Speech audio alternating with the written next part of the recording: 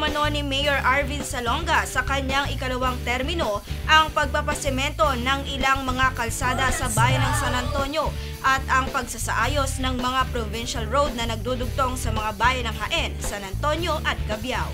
Ginawa ni Mayor Salonga ang pahayag na ito sa aming panayam sa kanya pagkatapos ng oath-taking ceremony o panunumpa sa katungkulan ng mga bagong halal na opisyal ng bayan ng San Antonio noong lunes, July 1, 2019. Aniya sa kasalukuyan ay nasa 41 kilometers na mga kalsada sa kanyang mga nasasakupang barangay ang hindi pa naipapasemento na siyang bibigyan nito ng prioridad. Rehabilitasyon naman ang plano para sa tinatayang 3.5 kilometer na kalsada na nagdudugtong sa bayan ng Haen hanggang sa kabayanan ng San Antonio para sa mas maginhawang biyahe ng mga mamamayan. Well, of course, eh, yung ating mga mga transportasyon, magiging mabilis ang takbo ng kanilang biyahe at syempre hindi na makakalog yung ating mga kababayan pag ah, pumapasok at labas ng bayan ng San Antonio. Yun ang nakikita ko. Magiging mabilis yung magiging takbo ng ating mga transportasyon at magiging maayos yung ah, magiging daan ng bayan ng San Antonio. Ito ay nakatakdang isa katuparan sa tulong ng pamahalaang panlalawigan ng Nueva Ecija sa pamumuno ni Governor Aurelio Matias Umali na siyang nagsilbing panauhing pandangal sa seremonya. Bilang pagsuporta ay kasama rin pumunta ng ama ng lalawigan sa oath-taking si Vice Governor Doc Anthony Matias Umali na mainit ding tinanggap ng mga taga San Antonio. Sa talumpati ni Governor Umali, sinabi nito na isa ang bayan ng San Antonio sa mga prioridad ng provincial government na matugunan at mabigyang katuparan ang mga proyekto.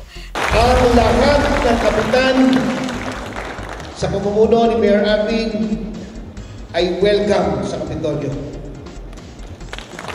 Ang lahat ng kapitan at anytime na gusto niyong makausap ang ama ng lalawigan at kung hindi pwede, ang vice gobernador ay harap sa inyo bilang pagtanaw ng pasasalamat sa makasaysayang bayan ng San Antonio.